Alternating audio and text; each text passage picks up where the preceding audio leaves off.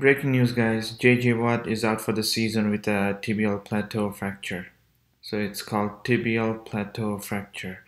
So he's done for the entire season. So if you have him in fantasy, you're kind of screwed. Damn. Get well soon, JJ Watt.